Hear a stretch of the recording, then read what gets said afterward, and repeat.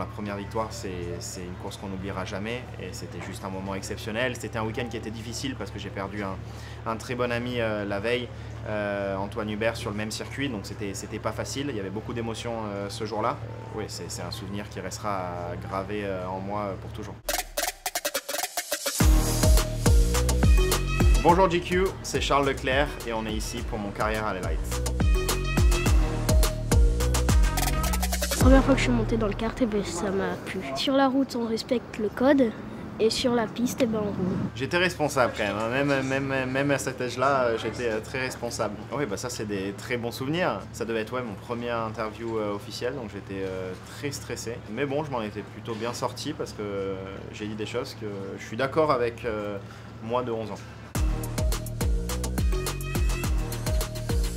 Et oui, c'était un moment euh, très spécial pour moi parce que c'est ma première victoire en Formule 1. C'est un moment euh, que j'ai rêvé toute ma carrière. Enfin, on rêve d'abord d'arriver en Formule 1, ensuite d'être pilote chez Ferrari et ensuite de gagner euh, une course et après un, championnat du monde. Donc ça, c'est encore à faire. Mais, euh, mais bon, la première victoire, c'est une course qu'on n'oubliera jamais. Et c'était juste un moment exceptionnel. C'était un week-end qui était difficile parce que j'ai perdu un, très bon ami euh, la veille, euh, Antoine Hubert, sur le même circuit. Donc c'était pas facile. Il y avait beaucoup d'émotions ce jour-là. Mais bon, c'était. oui, c'est un souvenir qui restera gravé en moi pour toujours. Je pense que les personnes qui regardent à la télé la Formule 1 euh, s'imaginent, euh, enfin voient seulement le pilote en soi, mais derrière il y a vraiment une, vraie équipe avec euh, beaucoup beaucoup de personnes impliquées.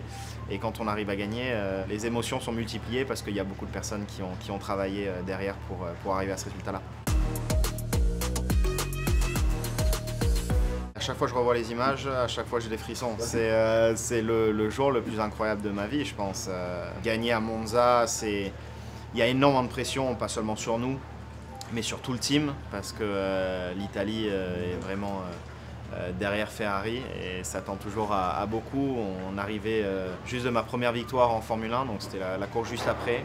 et on a enchaîné avec une deuxième victoire à domicile et c'était juste exceptionnel. Les tifosi c'est tout quand on, est, quand on est pilote Ferrari, on a tellement de soutien de partout dans le monde et en Italie encore plus. Donc ce jour-là, voir le nombre de personnes qu'il y avait en dessous du podium, avec les fumigènes rouges, les drapeaux, euh, c'était juste exceptionnel.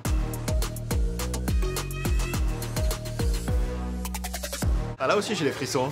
Bah, pour deux raisons, parce que déjà Julien Febro a fait un, un boulot de, fou cette euh, journée-là avec euh, les commentaires. Euh, tout au long de la course, mais surtout ce dernier tour qui est juste mythique. Et en plus, ça, c'est mon pote Pierre. Euh, on se connaît depuis euh, tout petit. On, allait, on partait en vacances ensemble quand on était plus jeune. À cette époque-là, c'était juste un rêve qu'un de nous deux arrive en Formule 1 un jour.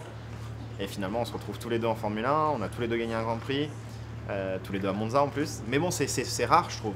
C'est très rare d'avoir une amitié dans le, une amitié sincère en, en Formule 1 parce qu'il y a énormément de compétition.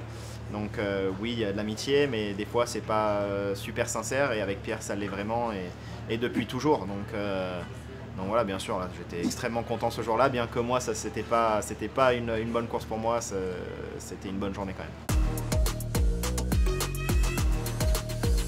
Alors oui, je suis ambassadeur APM Monaco et ça a tellement de sens. Enfin, je suis tellement heureux de représenter cette marque monégasque à l'international. Ça avait tout simplement du sens. J'adore la mode, j'adore les bijoux, euh, les accessoires, c'est euh, quelque chose que j'ai toujours porté depuis, depuis toujours. Et d'avoir une aussi belle marque euh, de Monaco, ben, ça avait tout son sens de faire un partenariat, partenariat, ensemble. Je me sens pas au complet quand j'ai pas des bijoux sur moi. C'est vraiment les accessoires, je, porte ça tout le temps.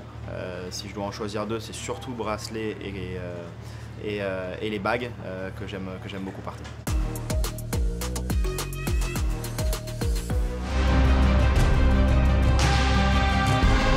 Welcome uh, to the Dolomites. Alors déjà c'est un endroit que j'adore, c'est en Italie, c'est euh, dans les Dolomites, c'est juste exceptionnel. Le paysage est juste incroyable et, euh, en plus ça le fait de se préparer en altitude, euh, il y a beaucoup de bienfaits, c'est plus difficile de faire certains, certains, exercices. Je fais pas mal d'escalade sur glace, du ski de fond, du ski normal aussi. C'est surtout pendant la période de l'hiver, donc de décembre à février, où on a un petit peu moins de choses à faire, donc on a plus de temps pour se préparer, pour se préparer pour la nouvelle saison.